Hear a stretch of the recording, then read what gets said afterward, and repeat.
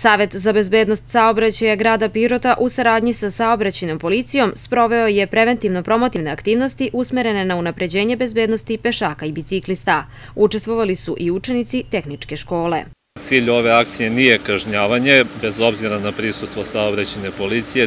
Cilj je upozoravanje, obaveštavanje pešaka i biciklista o njihovim obavezama u saobraćaju i pritom se dele neki promotivni materijali u vidu majica, svetala za bicikle, promotivnih flajera, koji će ih u budućnosti upozoravati i podsjećati na njihove obaveze u saobraćaju. Učenici su radili anketu sa, sa slučajnim prolaznicima kako bi se dobile neke informacije o njihovim stavovima i o njihovom ponašanju u saobraćaju. Najčešći uzročnik saobraćenih nesreća i nezgoda je neprilagođeno ponašanje vozača putničkih vozila, ali evidentno je da mnogo saobraćenih prekršaja čine pešaci i biciklisti, kaže Rančić. Što se tiče pešaka, to je prelazak van obeleženog pešačkog prelaza i to u značajnom procentu zastupljen.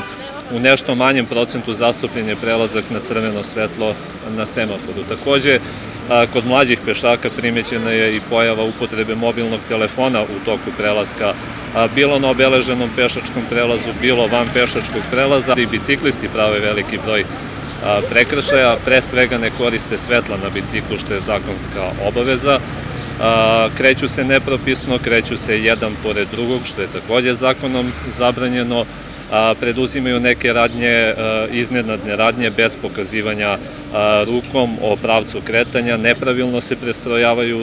Pešaci i biciklisti su najugroženiji učesnici u saobraćaju u naseljenim mestima. Statistički podaci u Srbiji pokazuju da od četiri poginule osobe u saobraćenim nesrećama, tri su iz ove kategorije i to u grupi starijih od 65 godina.